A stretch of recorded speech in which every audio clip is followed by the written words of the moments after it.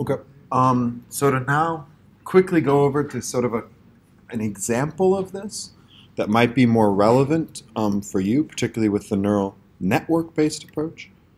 Um, so one of the other data sets that's available, and this will be on the website soon, is a data set uh, we made of finding and measuring lungs in CT data.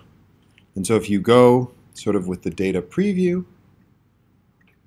you can see that we have sort of a bunch of images that look like this and a manually segmented label of where the lungs are in the image. And so this is a fairly standard sort of image processing task of trying to extract something that you know a person can see quite easily. You know, this is lung, this is tissue, into something like that. And so if we take, um, and so this would fall into the category of problems of sort of classification. And so we want to be able to take a pixel here and say, does this belong to lung or not? And so we want to come up with a list of rules that sort of assess how likely a pixel like that is to be part of a lung and make that ourselves. And so if you go on, like the Kaggle Data Science Bowl, um, this is what makes Kaggle, I think, so great. You can have um, people publish what algorithms they used to try to find lungs. And so here we have a candidate generation where they did a lot of other things, but one of the tasks they did was find lungs. And so they used a number of sort of morphology, um, component labeling, binary dilation, binary opening, and so a lot of the tools that we have covered before in this class. And they came up with a list of rules for finding lung.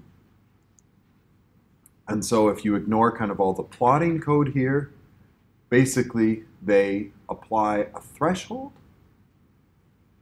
Where's that? Here. So they take the image less than minus 400 because that is sort of the cutoff on the scale that makes lung. They then get rid of the borders. They cut out all the background so that you don't have any background in the image.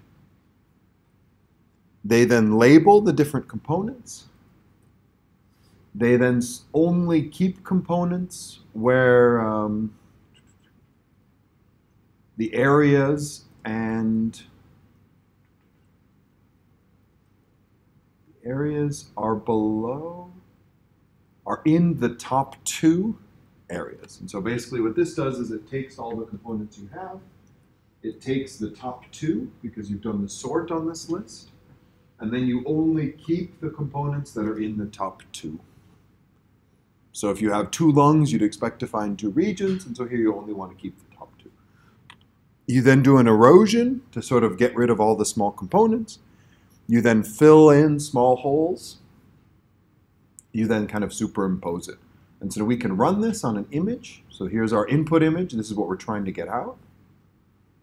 And we can see kind of each step one at a time for what it does. And that we ultimately get out that output mask for the images. Now we can compare. This was the image we put in. This was the ground truth, which this data set includes. This was what this algorithm gives us. And this is kind of the difference. And so we can go and print out sort of a report of, you know, what's the precision recall F1, and this performs very, very well. And now we can show the segmentation over the original image. We can then run it on all of the samples and sort of compare it, and then make this image here where we see how accurately it calculated it for all of the images. So this is quite a useful data set because you have I think 180 images or something like that, where you can try to find the lungs. And the lungs are all different shapes and sizes, and you have tumors in some of the patients and everything else. And so it makes it a very interesting problem because it's simple enough that you can try it yourself, but it's complicated enough that it requires a couple steps. And why this data set is interesting is because you can then use a neural network for the same sort of a problem where instead of coming up with these eight rules and trying to figure out how big the erosion should be and how what your threshold value should be and everything else, you can just make a very simple model. So here we have a two-layer model where you put your image in, you have a dense layer, and then you kind of make an image out. How it exactly works, you don't need to worry about. it. Where after sort of one training iteration, this is the result you get. So it's able to learn very quickly what it means to be part of a lung. And that, you know, we can make a slightly more complicated model where we now have two layers in the middle instead of just one layer. And it can give us a very accurate map of what this lung should look like without having us manually generate any list of rules. And so this is kind of a nice problem for understanding how machine learning prediction and sort of a neural network approach can be used to replace or enhance the tools we've covered so far. And so because this is a problem where we can manually come up with a list of rules for making the lung, we can see how that works. And we can compare how a neural network works because this list of rules we have here is not perfect. If we go back to the notebook, I mean, if you have an image that has no lungs in it, this won't give you a very good result because it keeps the biggest two components. And so if you don't have any lungs, it will either crash when it doesn't find the right number of things in your list, or it will keep the two biggest sort of air-like things it finds, which could be the pillow behind the patient or some other structure that isn't a lung inside it. And so even though we understand all of the rules here, we don't necessarily understand where these rules can fail. Because it requires a lot of thinking about what is this actually looking at and how is it working. And so I think this example is very helpful for kind of seeing this. And that ultimately what's important to do is to sort of keep track of these score metrics, have a set you're training on, have a set you're validating on, and be able to say, we have confidence in our model because we adapted the parameters, we decided what the threshold should be, we decided how big the erosion should be on a training subset, or even on one or two images, and then we applied it to another 100 images we'd never seen before to make sure that it actually works on a larger collective. And with you know neural networks that's a bit more explicit because you're actually training, and so here we split the images into different groups. So I think up here we have our whole image data set, and then we break it into a training input and a testing set. And so we have 240 images to train with and 27 images to test with. And so we then build these models with the 240 as an input and the other 27 as the testing. Um, but yeah, anyways, those data sets are all publicly available and the scripts are as well if you're interested in playing with it more. Um, I won't go into this in much detail because we have another, we have the whole dynamic lecture we wanted to cover today. Um, so unit testing is a very important thing to look into and use in your projects because um, you will probably end up writing lots of code or making very complicated workflows in KNIME and it's very difficult to know when you've written a lot of code that all of it works well.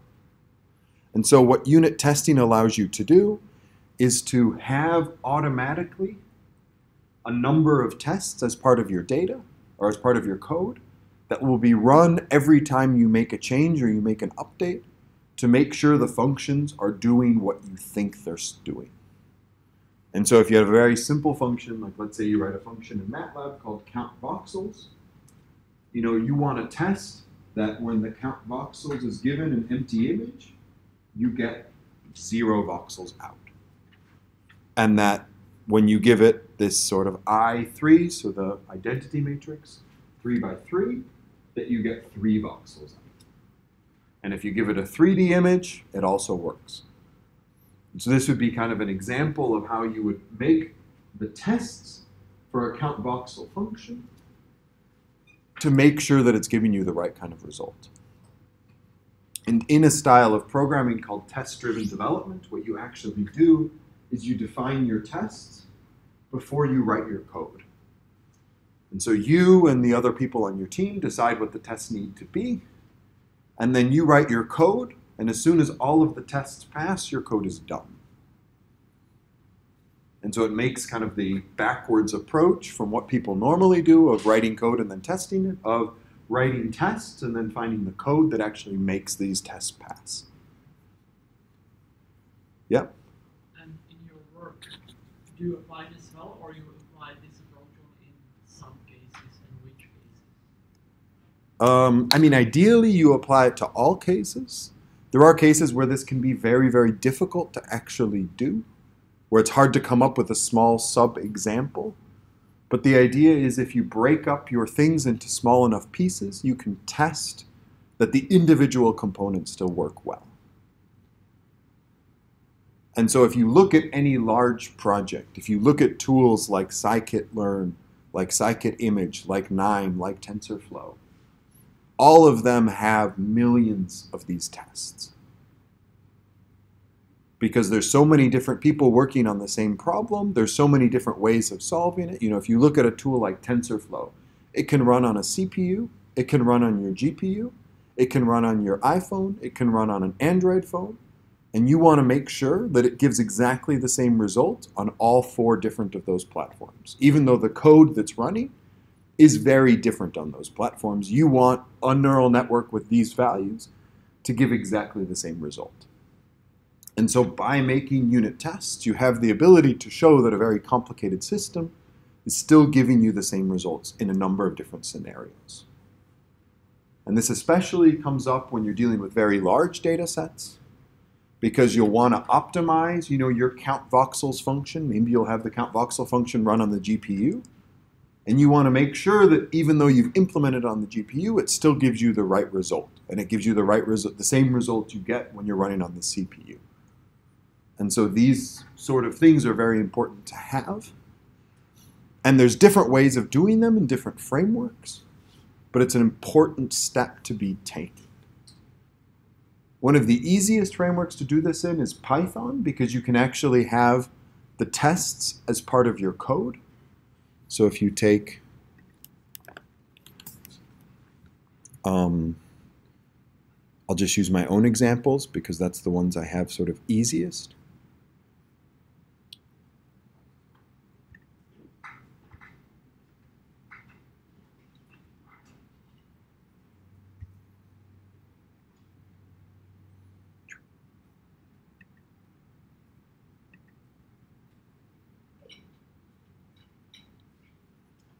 Or um, this, which is sort of the OpenAI gym. I guess it's a little bit hard to see there. But that you have sort of the name of your class here, and then you have a list of what are called doc tests, where you actually include what code you want it to run and what the results should look like. And this is then automatically run every time you update your project which means that you know someone might come up with a much better way of doing image environment or a much faster way of doing it. But we still know that when we make a small simple example of 10 by 10, where we have a view of 3 by 3, that it gives us the right outputs, that the score is correct, and that everything works well. And so this is important to have in sort of every situation that you work in because then you have some confidence that your tools are actually working correctly. And that, you know, when you look at projects like this, this code, you know, this is all one giant function.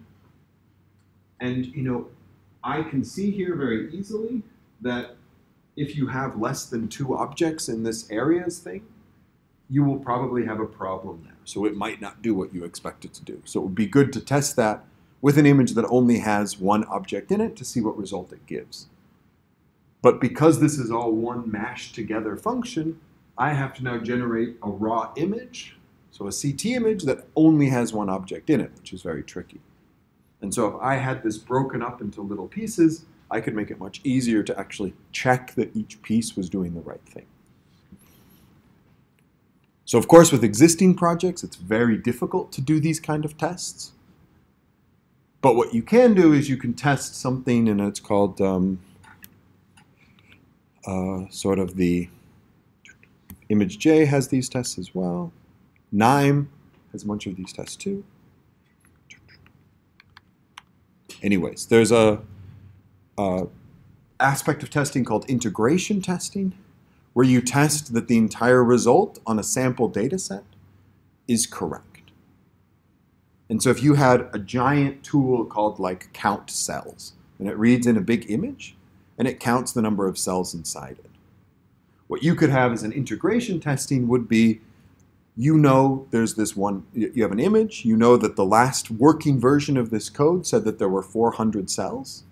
You then have one test that runs this whole block of code on that exact image, and it should spit out 400, which means when you go back and start changing things, you immediately see if you change something that affects the final result. And maybe you find that there was a bug in the original code, and that's fine, and then your final result should change. But most of the time, when you're changing or optimizing things, you don't want the final result to actually change. You want the final result to be the same. And so, this is a very good approach for dealing with other people's code or when you have to incorporate another giant block of code into your project, that you can be confident that it's giving you somewhat reliable inputs.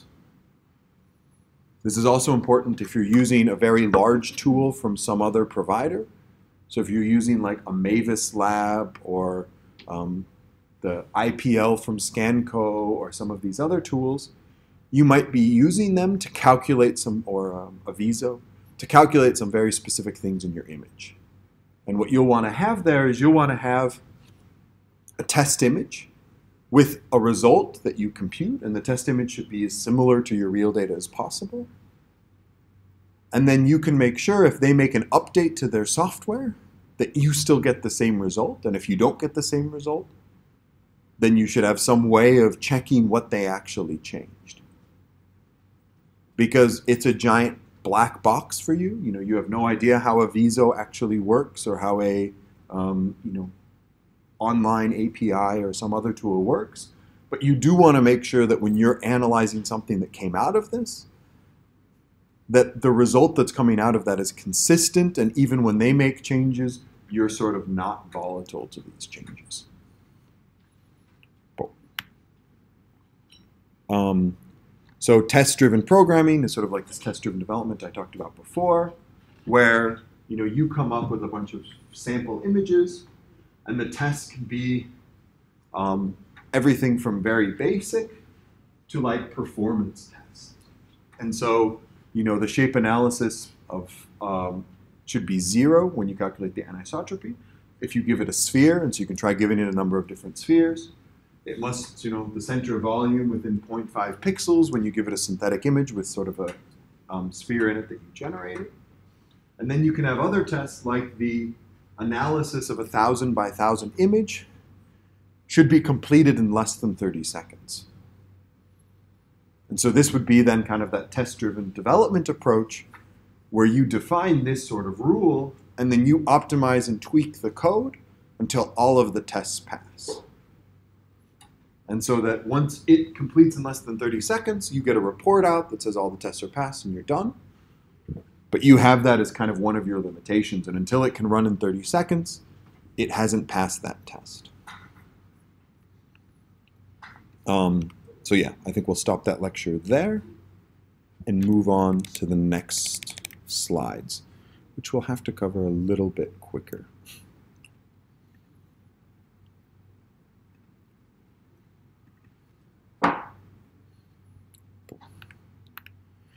Okay, so you kind of see, I don't necessarily cover this all again. We're now on this dynamic experiments part.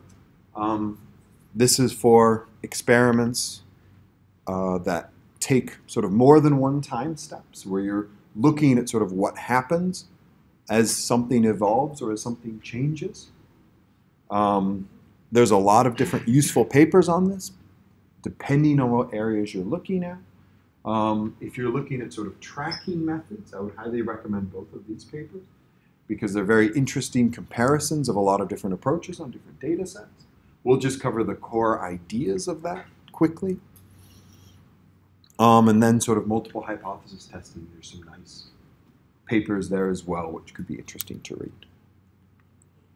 So yeah, we have sort of the whole previously. We'll leave this out at the moment. So the objectives we have is to kind of what are the types of dynamic experiments we have? How can we design good dynamic experiments? And this is a very important aspect of this. How can we sort of track objects between points? How can we track shape? How can we track distribution? How do we track sort of topology? I don't know if that's useful for any of you, but it's an interesting approach to have. Voxels look at deformation and strain in sort of more general cases. Um, so we kind of have this general outline where we'll talk about experiments first. Then we'll talk about sort of object tracking, which would be the most important part of this. Then the voxel-based methods, where we look at sort of how do you do cross-correlation, how do you do some of these other approaches that we look at, and then how does this look actually for more general problems. Um, so 3D kind of are already difficult to interpret on their own. 3D movies are almost impossible, but 2D can be very challenging as well. And so if we look, I think this 3D image,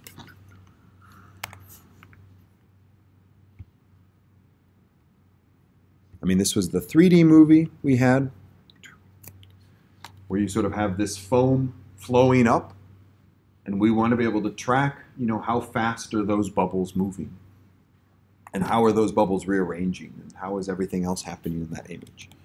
And that's sort of an example of one of those simple problems.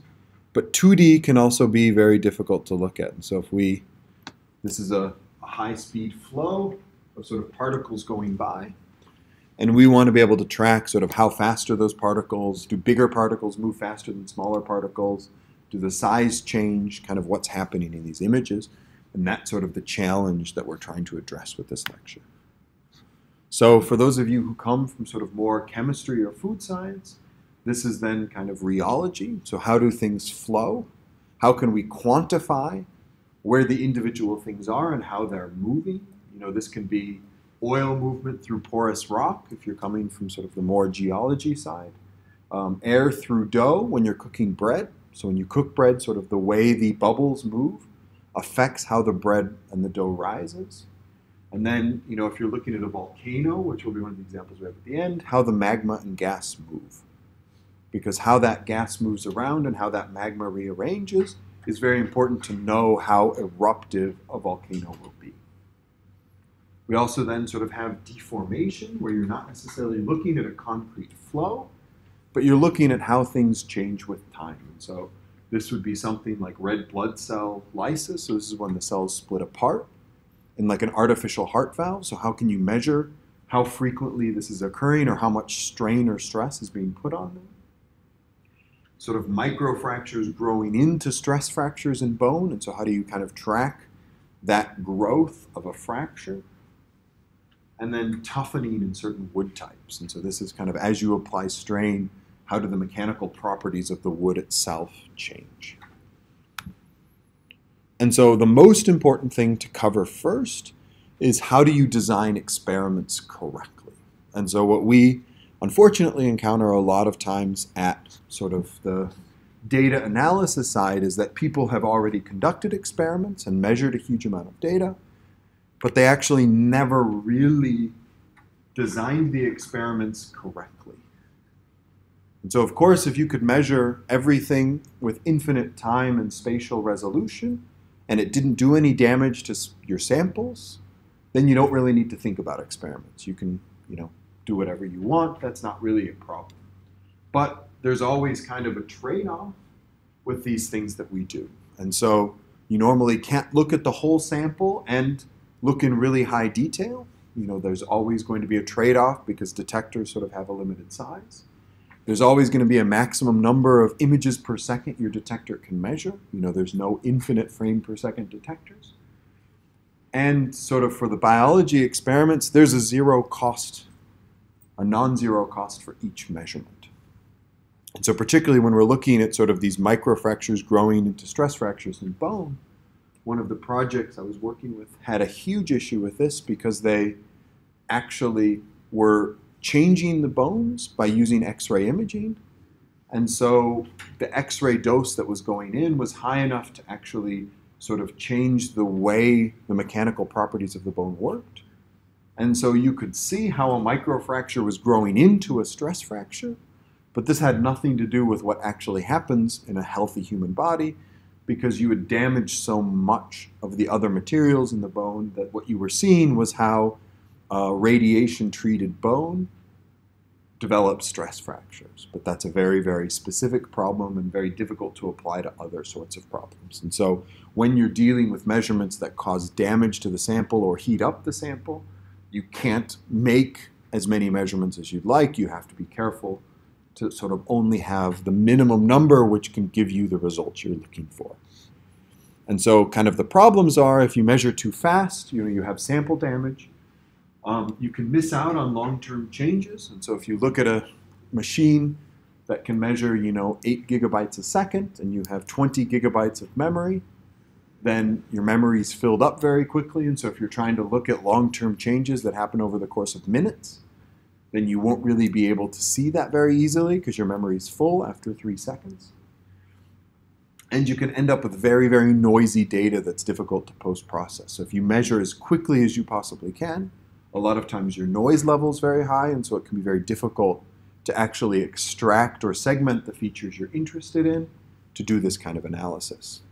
Of course, if you measure too slow, you'll miss sort of small rapid changes and you might have blurring or other motion artifacts so that if things in the sample are changing while you're actually doing the measurement, you can get some of these effects. You know, if you have too high resolution, your field of view might be too small to actually see something move around in your image.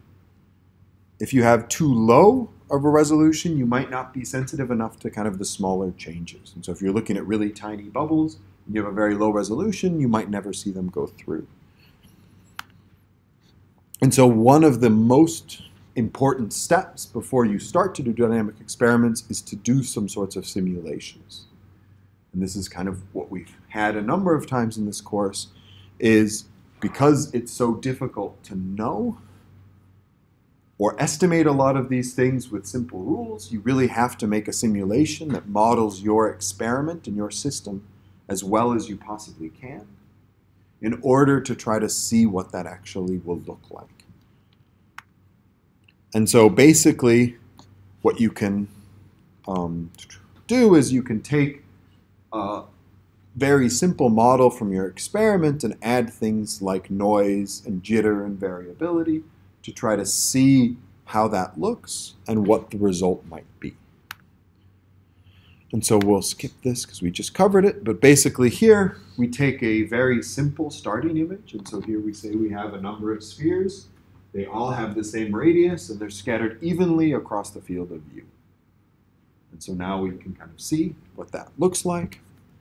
We can kind of do our standard analysis that we do with you know, threshold, component label, shape analysis, distribution, whatever. And now we can sort of add a motion to it. And so here we can sort of say our motion vector is this very simple, uniform, you know, up 0.1 per second, or whatever our unit of time might be. We can also sort of make a more complicated one where, you know, we try to have the direction change as you go around, and sort of like maybe a spiral-like flow. We can then say, okay, this is what our experiment looks like. This is time zero. This is time 0.25, time 0.5, time 0.7, 1, and so on. So we can generate this whole series of image frames to see what that actually looks like. We can then start to add in effects that might be important for the system that we're doing. And so here you'd have something like random appearance and disappearance. And so, you know, you might see a blob here and then you don't see it in the next frame. And then you see it again in the frame after that. And you want to have something that kind of accounts for that. And so here you artificially add and remove these blobs so that you can see sort of what happens in your image. You can then start to add motion noise, where you sort of add a you know, random offset and a random angle to all of your velocity positions, so that instead of being kind of a constant upward flow, you have some noise in your motion in your flow. And so now you can see that you know if you take a um, like the experiment we had before, and you add that jitter, it becomes much more difficult to track what actually happens with these bubbles. So that maybe from here to here is fairly clear, but once you get onto some of these further slides, making that track is very difficult to actually do. And so what you want to be able to see here is when you add all of these different effects like flow rate, flow type, density, appearance, disappearance, jitter, particle uniqueness, it becomes sort of more and more difficult to see, at least visually, what you're able to track. And what this simulation helps us do is that we can now create a synthetic data set and then create an algorithm to try to track our points through this synthetic data set and see what we need to do in order to track the points reliably. And so, you know, maybe with this we could skip every other frame and still track accurately.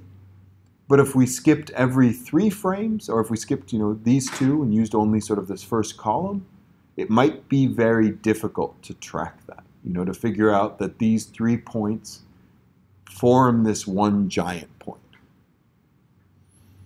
And so with this, we kind of have a starting point where we know exactly where this point came from. We have that information. So we're able to validate our model and we can see how well it works.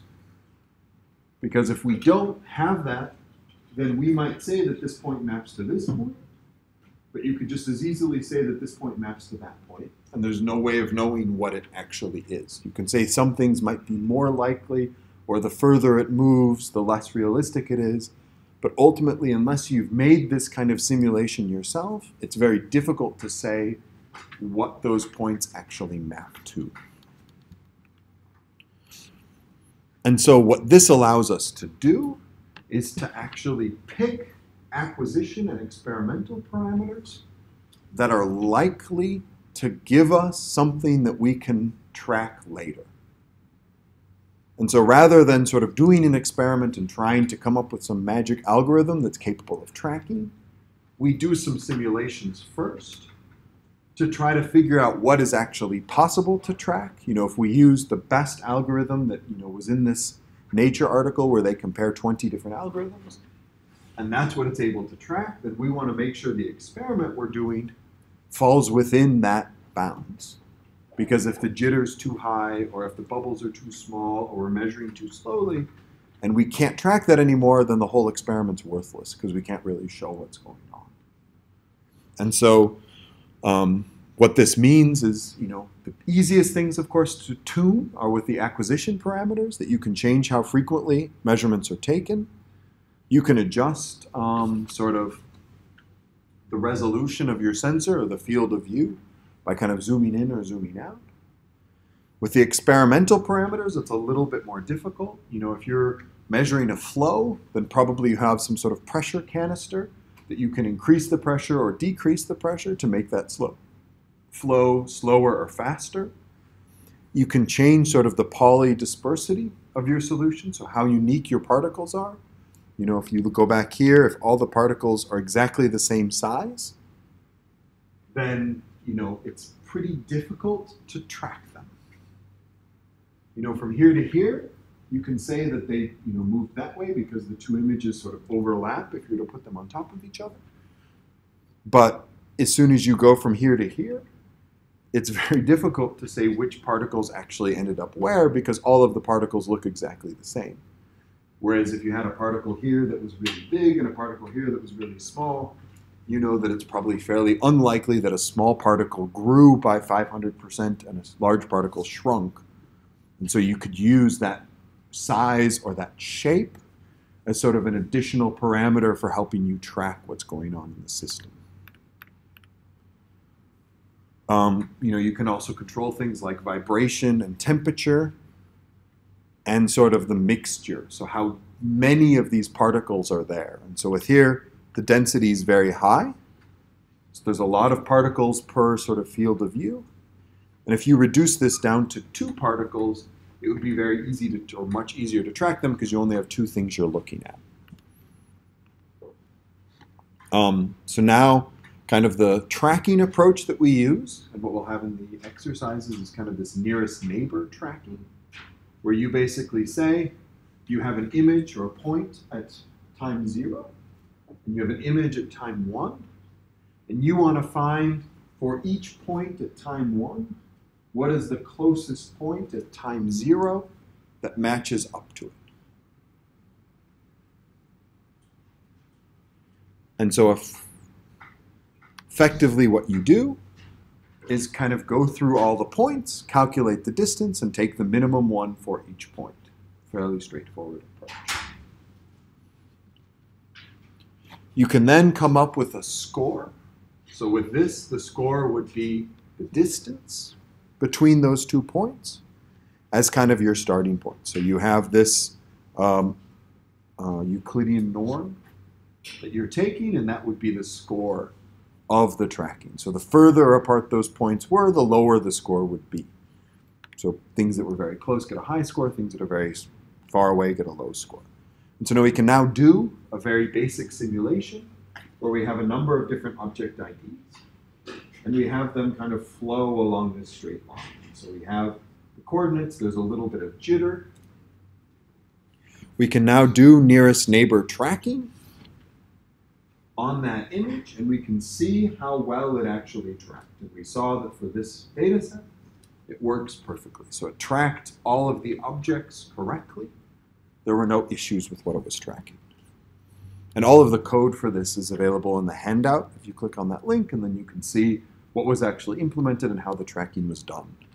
But for presenting, it's much easier to just show the results. You can then take a more complicated flow. So now if you say actually there's no upward flow, it's kind of a Brownian motion. And of course that's not the real model for Brownian motion, but it looks kind of like that. Um, you know, you have a simulation that looks like this, where sort of each point on that line is where that was at a given point in time. You can now do nearest neighbor tracking and sort of show what you tracked and that you have everything tracked correctly.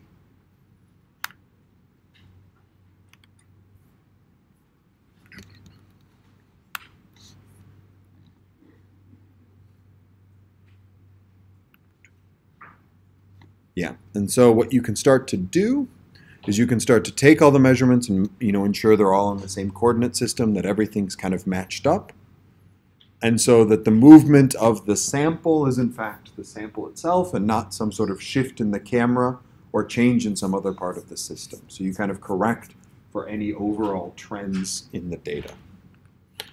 So now what we can start to do is we can take an experiment where you sort of have no offset, which is this very simple um, nearest neighbor model, fixed offset, where you kind of account for the fact that there's some constant shift in the whole image, and then adaptive offset, where you then take the whole series, you find the nearest neighbors for all of them, you take the average nearest neighbor distance as sort of the baseline, and then you run the whole approach again.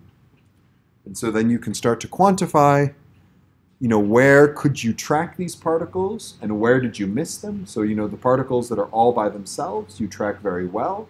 When the particles start to bunch together, you get a lot of these missed ones, which show up as red dots. You can keep track of the misses, and so where did you have the highest number of misses and where did you have the lowest ones?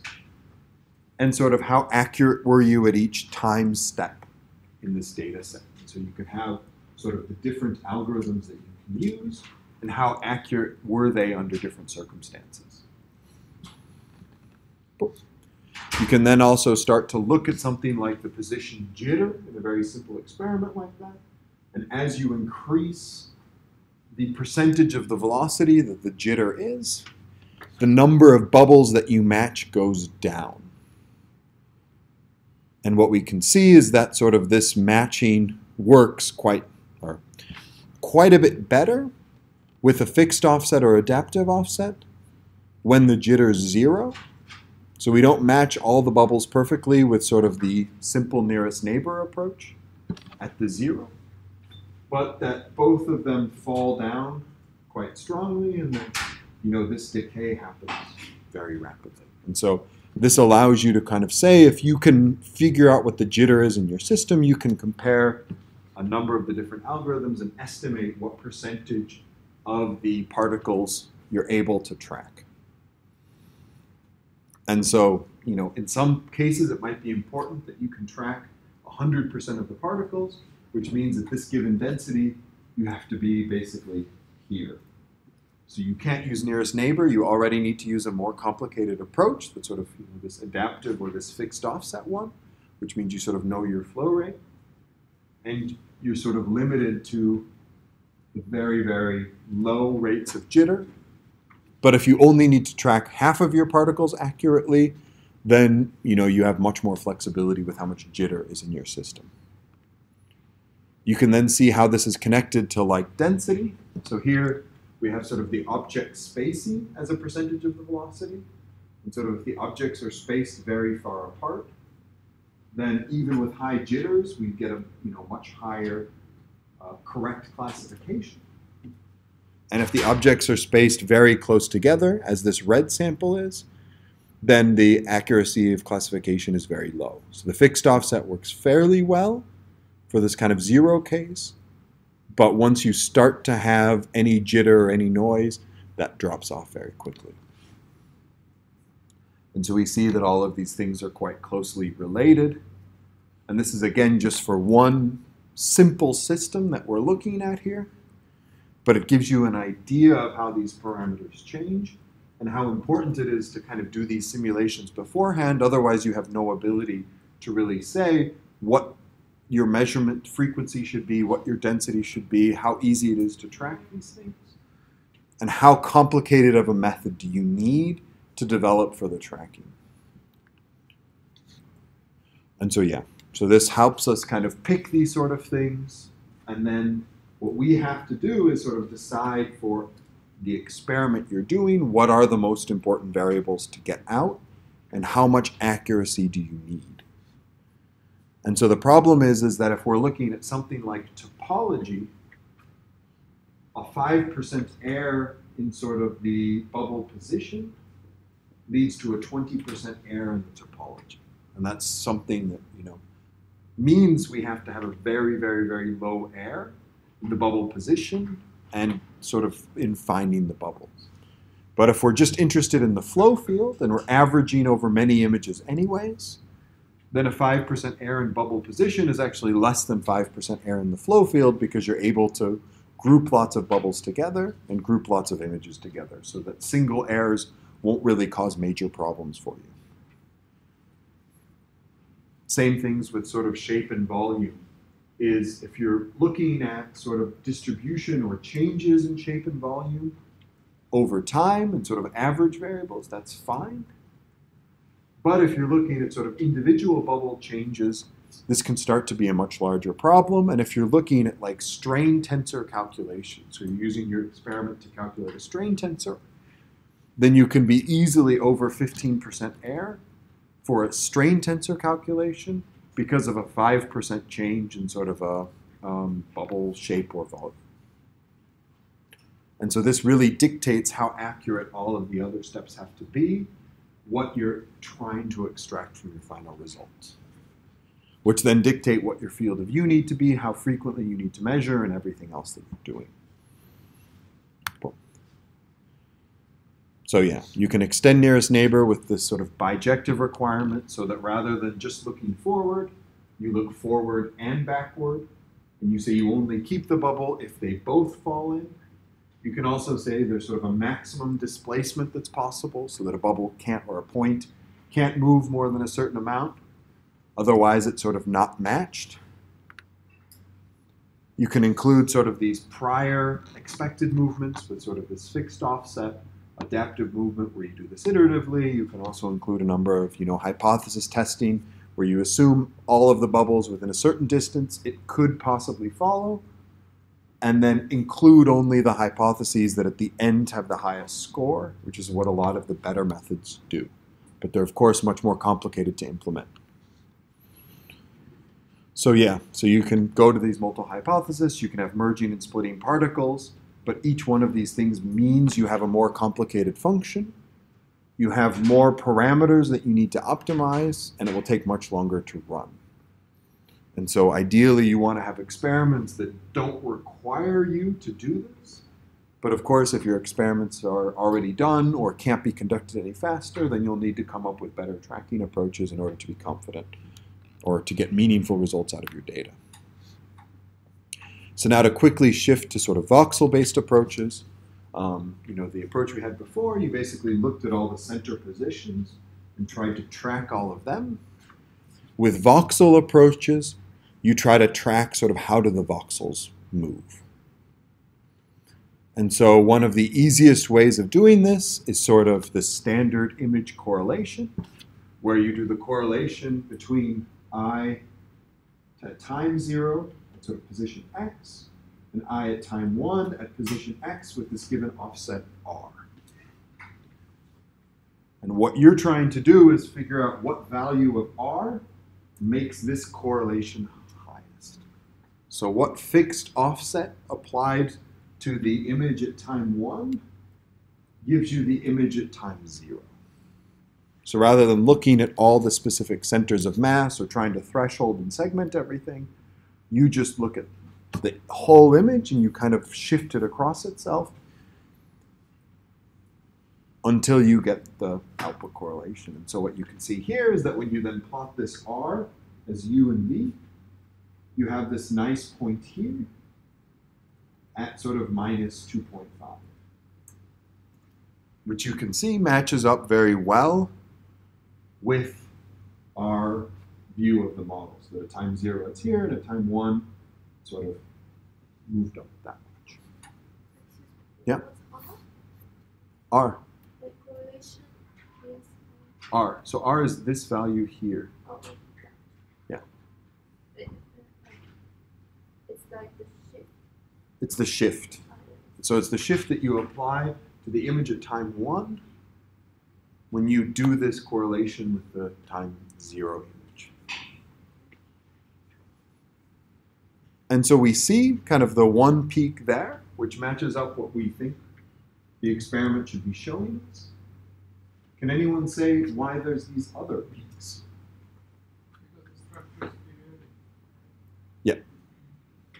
So because we have a periodic structure, it's actually, you know, for us intuitively, it looks like the image is going from time zero to time one in that up step.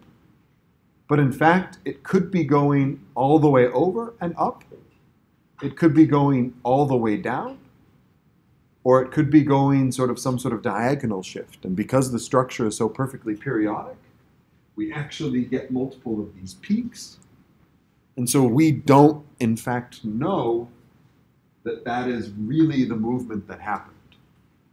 That's the movement that kind of makes the most sense to us, because that's the smallest one. But depending on what your system is or what your experiment is, all of these other peaks could be a possibility. And so that's something you have with dense and periodic systems is sort of these multiple peaks that show up, which correspond to sort of different um, possible movements you could have had between the first time point and the second time point. And in fact, all of these sort of have the same score in the system, and so it's very difficult to know which one would be the highest one. And so there we would just use the criteria. The one that's closest to the zero zero point is the one that happened, but in other situations you couldn't necessarily use that assumption. Yeah.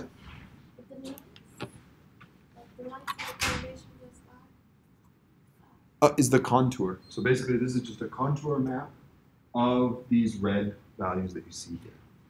So each one of these red values indicates the correlation at that R value. So R of U equals 0, V equals negative 2.5 is then a correlation of 0.3. The blue lines basically just show a contour map of this image. So it's the same information, just a different representation of it. Because a lot of times the contour map is easier to look at than this map by itself. But like the contour, I would say quite simpler. Like why is this strange shape? Here, like this. Yeah. Um, why is it that strange shape? It might just be the way it's plotted, because all of the points are circular. Okay. So it should be actually circular on this axis too. But yeah, it might just be that there's not enough points in this graph to make a reasonable contour map. But yeah, I should probably take that out. So now with random image position, so instead of having a very simple grid with a very simple flow, which you know is the easiest thing to make for your simulated data, but not always the best for doing something like a voxel-based approach because you get these other peaks that show up. If you here take random images, now we can see very easily, okay, this move down. You know, there isn't a lot of other hypotheses that you could have about how that movement looks. And now if we take the correlation, we see that there is one clear maximum value down there. And there's some other non-zero values, but none of them are as high as that maximum, and so it's very easy to decide what the movement actually was. And yeah, here, just ignore the blue lines. They don't help you see much. You can then sort of start to extend correlation where instead of just looking at this plus r, you look at sort of this r, s, and theta, where you could sort of have a whole transformation of your original image, where you now have a correlation as a function of how much the image was scaled and how much the image was rotated. Um, again, the blue lines you can kind of ignore, but you can then start to see a little bit where that peak might be in this graph. You can then start to have more complicated changes where sort of this whole image, you know, shrinks a little bit, you know, where these points move down and these points move up, where correlation then doesn't really have the ability to show you what's happening in this image. So here you just see kind of a big blur blob near the center with some values up here and some values down there, which means that you know the best overall R value for the whole image is probably somewhere at zero zero, but that doesn't necessarily explain all of the movement very well. So when you start to see that peak get flatter and flatter, that means that you probably have a number of different kinds of motion that are all being included in the same correlation. And so this is where you can then subdivide the data. So you can take it and break your data up into a number of different windows, like we show here, and calculate what that correlation is inside of each of these windows. And so now you have sort of the correlation function at each one of these different points rather than the whole thing sort of brought together. And so now we can kind of show as a vector where that maximum occurred at each point or where the maximum were. And so each one of these points refers to one of these boxes that we had before. And we can now see kind of what the movement was at each one of those points. You can see that some of them are a little bit erroneous, so that we have this one going massively in this direction, which isn't really accurate. Should be going in this direction, it gives us a basic approximation for what's going on. So if we use too large of a, you know, if you use a larger window, you get a better sampling, so you have more pixels inside, which means you get a better sort of statistic on this correlation. But you get less information because you sort of divided your image up into smaller, um, coarser pieces, so that when you then try to reflect what actually moved, you now only have four points where you can calculate that vector. And so there's a trade-off between how you define these boxes and how you get a nice sampling of what's actually moving or flowing in your image. You can then sort of have the opposite problem if you use too small of an image, where you know here this entire window is filled up with red, and so you're not going to get a particularly meaningful correlation function between these two images because the red is simply everywhere. And so, you know, you can show with pretty high resolution all the different vectors and arrows you create, but there's a lot of arrows that are pointing sometimes in completely the wrong direction because you're oversampling your image. So we can have sort of experiments like shearing where we try to track that, and that's sort of an example where you need to have lots of different points so that you can start to see that shearing behavior that occurs. You have a lot of noise, and so it requires a fair amount of filtering to get that to work well. Um, but yeah. Compression is something that we can see very clearly. Basically, all of these dots just got smaller. But the result in this graph doesn't make that very clear. So you have these arrows going everywhere because your assumption was the points sort of moved in a direction, and that isn't necessarily justified in the results that we see. So you can start to introduce physics here, where rather than just having a correlation term, you have some sort of cost to that correlation, where you include things like sort of how did the surrounding point move? So you will you don't want to have a completely discontinuous um, movement field. Um, what is the maximum deformation or force you would expect in your system? What are the material properties? And so you know you can have uh, like bone, for example. If you have a very small displacement in bone, that creates a huge amount of force versus you know soft tissue or air where a very small displacement has almost zero force and so you would have a very different term that you would put in there. Um, and this is sort of the sanity check you can put on your correlation to have it mean something in sort of the physical world. And so by adding sort of this lambda which is a weight and then some sort of cost for the deformation you can get a correlation term that's more relevant to what you're actually looking at. Um, so I think we'll leave this part out now because we're already kind of over on time and cover that at the beginning of next lecture if you're interested. So there are any questions on that? Yep. I can have a question. You compare the two approaches for segmenting the lines, right? Yep. And which one in the end performs better? Um, I think the they perform differently under different circumstances. And so if you look at that training model and you simply score it on the training model, how well they were able to fit the training and test data you had, the neural network I think worked better.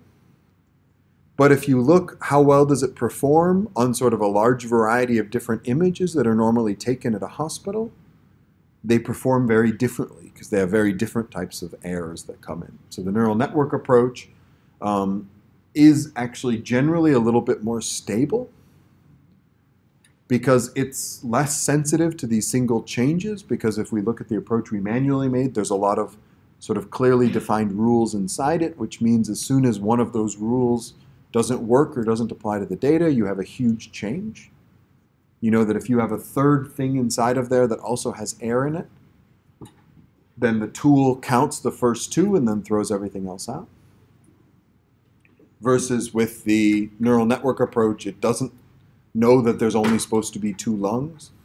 And so if there's a third thing that looks like lung, it will classify it as lung as well.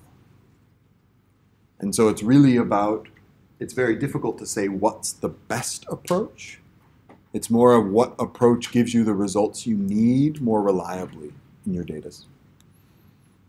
And so, um, yeah, that isn't sort of a clear winner and loser. You just have two different approaches that fail under different settings.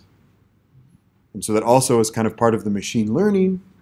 What you often do is you often take multiple different models and you sort of bring them together and you have them vote. So you might have one vote coming from the standard approach, one vote coming from a pure neural network approach, and by bringing them together, you have a more accurate image than either of the two models by themselves.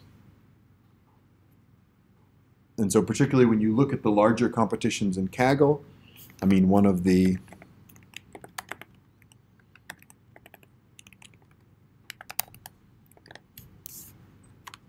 this No Free Hunch blog from Kaggle. They have one of the more recent winners in it.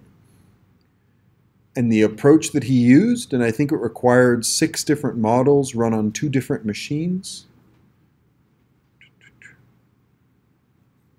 Um, I think it's Kyle Lee.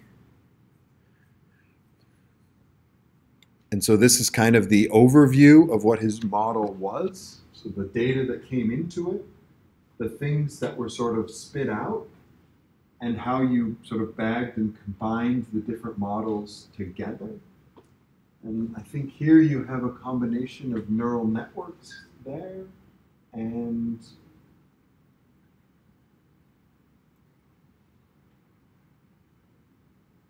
Yeah, I think they're all different neural networks here that are being combined together to get your final result, but you see that it actually involves a number of different tools that you then try to bring together to get the best result. And so here the task was to classify the images into different categories. So what is road? What is um, lake? What is um, you know, air? Or whatever these other phases were from satellite images. And so yeah, buildings, structures, roads, standing water, and networks that were then made to work with other ones in order to classify these structures well. So that standing water plus waterway was sort of the combination of these networks with these inputs, with these other networks and these other inputs. And so that for really complicated problems, you often have a combination of a lot of different models in order to get really good results. And I think the prize for this one was like a hundred thousand dollars, if I'm not mistaken. And it was, you know, split up into a number of different steps. And yeah, you can see how everything was kind of brought together. And yeah, how they how we tweaked the model, how we improved it, how he sort of tested a number of different depths and widths and sampling sizes to see how well it could accurately do each step. And then, of course, a lot of this includes the realistic factors of you have a huge amount of training data, and you need to somehow parallelize training this model over multiple different machines with multiple different sets of parameters. And so you can't always take maybe the best approach. You might have to sort of divide up the task into different pieces and have each piece done somewhere else. Which actually leads into very well the sort of things we'll start doing in the next lecture.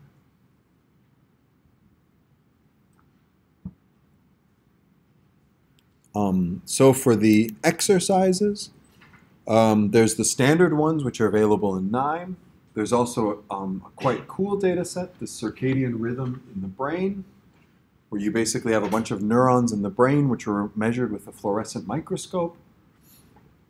And the goal here is to kind of track how the different neurons move with time. So you have these different points, and you want to be able to see how they move from one image to the next. And so here we have this basic kind of nearest neighbor approach, where you sort of take the difference between two images as a distance, and you find the minimum one.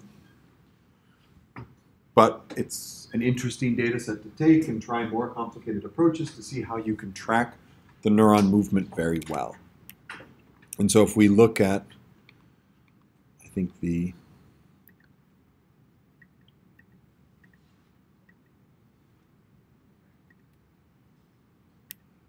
the actual data set here, you see that there's sort of some initial kind of movement upwards and then movement down again.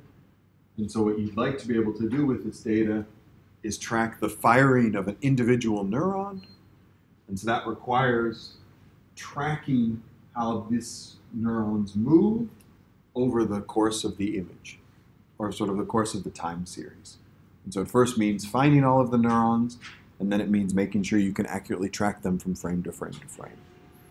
And so this is quite an interesting problem to work on, and it's a nice data set because there's other people who have been working on the data set as well.